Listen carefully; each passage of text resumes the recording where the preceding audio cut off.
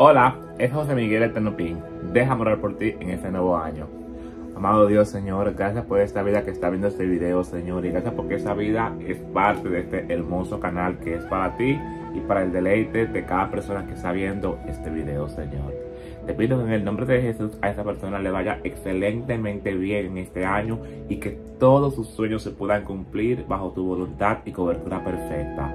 Que tu amor, tu prosperidad y tu paz que es siempre perfecta, esté en su vida siempre, para que todo lo que él haga sea bendecido, sea próspero y sea de provecho de él y de toda la persona que le rodea en ese momento.